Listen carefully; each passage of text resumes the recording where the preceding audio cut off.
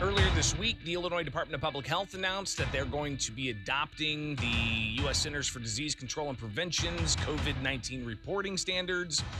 Uh, and looking back two years ago, uh, it was interesting to see the uh, the levels of reporting that they were uh, they were putting out, and just the the need for even uh, deeper types of numbers and more context instead of just all of the uh, you know, total positive cases and whatnot. Uh, and I was uh, asking time and again for updates on hospitalizations and COVID hospitalizations and ICU availability. Then we started getting more of that data on a regular basis. Uh, but now it seems that the data sets have completely changed now, two years into this, and we've seen yet a little bit of an increase in COVID cases. Uh, but uh, as we've been uh, tracking that here with Springfield's Morning News on WMAY, good morning. I'm Greg Bishop. Uh, the governor was asked yesterday uh, about whether or not Illinois is going to go back to requiring masks.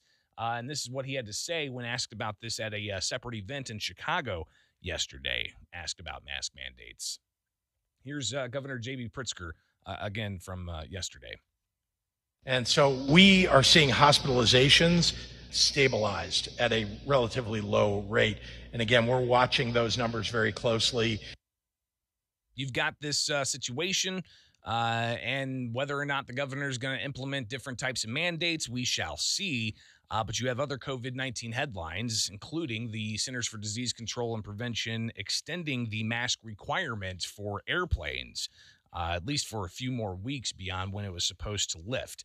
Uh, but where are we at now and where are we going? You're hearing, uh, you know, some concern that there could be more mitigations announced or maybe not. Who knows? But is it time now to reflect upon the past two years? Uh, a report that's out now uh, gives Illinois an F, and uh, this report uh, it's reviewing all 50 states and the District of Columbia, and ultimately shows that Illinois got an F compared to other states. This again is from the National Bureau of Economic Research. to talk more about this, Ted Dabrowski, he he looks at numbers, he analyzes numbers. He's the president of WirePoints. He joins us now. Uh, Ted, thanks for taking time. This report is uh, something that is a first, right? We really haven't seen this type of uh, comparative analysis of state by state to see what states did versus uh, what states didn't do and the outcomes when it comes to health outcomes, education outcomes, and economic outcomes. Uh, from what you've seen in this report from the uh, the National Bureau of Economic Research, uh, what's the takeaway here, Ted? Good morning. Hey, good morning, Greg. Thanks for having me on. No, look, you know, from the beginning of this of this pandemic, we always argued at WirePoints and a lot of other people did too that we need to add up not just the, the lives lost because of COVID, but all the the costs, both in lives and livelihoods, of all the mitigations we're doing. Uh, we need to add the whole picture to see whether we're doing, you know, doing good or actually making things worse. And, and you know, two years later, we're finally getting some kind of results like that. And you know, these guys, some guys from Chicago, University of Chicago, Stephen Moore and another person put together all this data looking at the COVID costs of, of mortality rates, but then all the costs from from the lockdowns to the school closings. You know, what happened to the economy? What happened to kids' education? And when you add up all that stuff, you know, and, and they came up with a with a methodology and, and adjusted for things to make things like for like. They found that Illinois had the fifth worst performance in the country. So um, you know all that all that pain we had by from some of the strictest lockdowns from keeping our schools closed for so long uh, didn't really help us move up the, in the rankings of, of fewer deaths. We actually were middling, so lots of pain and and, and, not, and little to show for it. Well, and, and talk about, I guess, the comparison here, because you know one thing that uh, was was pretty evident even after the first six months or so is that some states decided to kind of go their own way. Uh, and while the CDC had recommendations and guidance, you know, people could look at that and follow it themselves. Uh, but uh, some states decided to to just not go with the the lockdown mentality. Uh, and when I talked with one of the researchers, Ted, uh, they said it wasn't just the you know the mandates that were put into place by certain governments, either local or state. It was also the the messaging that was being sent out, uh, and that messaging being you know either uh, enhanced fear of the virus and only focusing on the virus rather than overall wellness and health.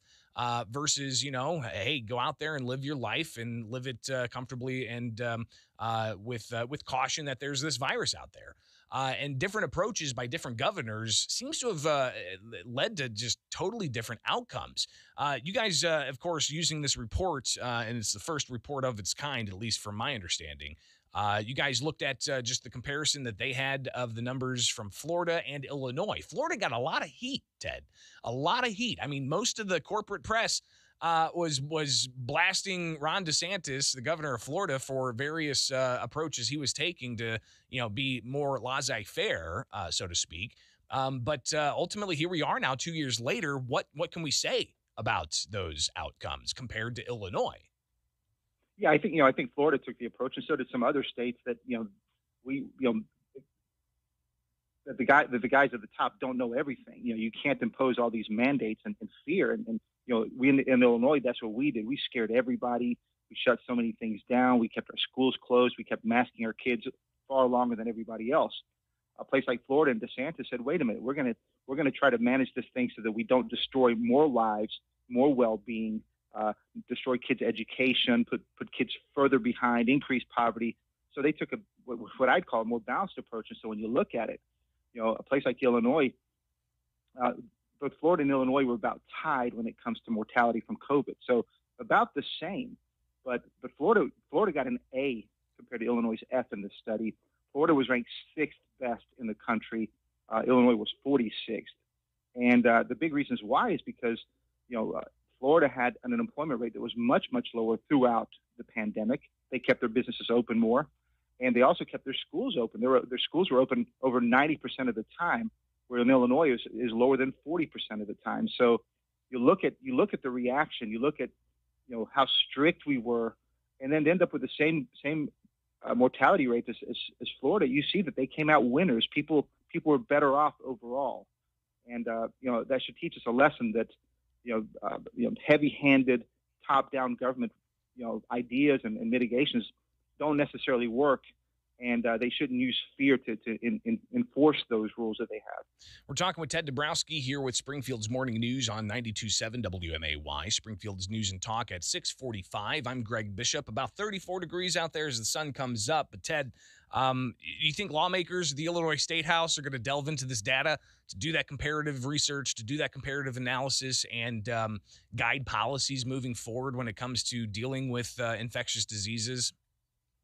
You know, I, I don't know if they will. Uh, they should. They should have stepped in long ago and taken away Governor Pritzker's executive orders, which he's still using now. Um, they should. They should have. But what I do know and what I do think is that uh, as people get to know this and they get to see that you know Florida got an A and Illinois got an F, and that you know you can do things differently, uh, that the people aren't going to put up with it. You got to wonder if um, you know again if, if mitigations are, are, are, are well. Let me put it this way: uh, they're going to the governor's going to have to prove masks need to be worn, I think, uh, things like that. So we'll see whether people can put up with this again or not. Ted Dabrowski with us from WirePoints. Uh, coming back, Ted, I want to talk about universal basic income, uh, air some of what was uh, discussed in the committee last week, uh, where it was revealed that the state has a program that they uh, are looking to enact for the Metro East area, but you've also got the city of Chicago uh, set to have their guaranteed income pilot program set up. So, is this a good policy? Is it really going to help? Uh, we shall see. We'll have Ted Dabrowski with WirePoints with us next segment as well here on Springfield's Morning News. I'm Greg. Starting later this month in Chicago, they're going to have people apply for a lottery. And winners of that lottery will get to take part in a universal basic income test program, a pilot program, guaranteed income. Is there a difference between guaranteed income and basic universal income? I don't know. I think it might get into semantics there, but um, something that uh, Chicago's looking to do, and uh, it's going to cost Chicago taxpayers and actually federal taxpayers, because I believe this is coming from the federal uh, COVID relief dollars. It's going to cost uh, about uh, what thirty $31 uh, million or so. Uh, this is a, a, large program. $31.5 million are setting aside for this pilot program. They've got some parameters laid out, uh, including that uh, individuals that want to take part in this, only one per household. Uh, they have to be below uh, 250, 250% of the federal poverty level. which equates to about $57,000 for a family of three. Uh, and uh, they would get $500 a month. For how long? We shall see. I guess till the funds dry up. Uh, but uh, that's in Chicago. So the city of Chicago is going to be managing that one. It was revealed earlier this uh, in in the budgeting process last week that uh, lawmakers are looking at uh, their own uh, basic income, universal guaranteed income program for the Metro East area. And uh, not many details provided. Uh, we got Ted Dabrowski on the line here, and we'll get to that in a moment. But I did want to share a bit of what ultimately came out of a House committee whenever Republicans revealed this in the Democrats' budget. Uh, here's uh, State Representative Ryan Spain and House Majority Leader Greg Harris discussing these issues of uh, guaranteed income. $3.6 million of GRF allocated for a guaranteed income pilot. What is that? It is a test program in Metro East to determine whether, and you've seen these around the country. So it's a it's a uh, a small uh, program in, in, a specific locale to test uh, the outcomes of delivering, you know, guaranteed income to a small set of subset of people, as opposed to you know the patchwork of um, them trying to get you know other sources of income through SNAP or TANF or the Earned Income Tax Credit and that kind of thing. Are those um, beneficiaries of the program then ineligible for SNAP and TANF and any of the other assistance programs? I would imagine they are if they exceed the uh, requirements related to income for those. So what, how, how do we know what those income, not the TANF and SNAP, but what are the, I mean, I've heard this called basic universal income. What is the uh, income the, that will be allocated to people that participate in the program? I think that has to be developed by DHS. I know there are different cities around the state. They're trying this in different areas and there's different definitions. Uh, so I don't believe that's developed. So again, um, uh, we don't know yet all the parameters of uh, Illinois' program, but they passed it as part of the budget to spend 3.6 million dollars for the Metro East area. Uh, Ted Dabrowski, president of WirePoint's, with us on Springfield's Morning News here for about uh, three and a half minutes. Ted, uh, is this a good program, a good policy, or I mean, it's we got an election coming up. Uh, does that play into this at all? What's going on here? And are these types of programs uh, showing results in other areas where it may have been implemented? No, I, I don't think this is a good program at all. Um, you know, there's there's lots of attempts to do these kind of things across the world, testing out whether giving people money for doing nothing will work.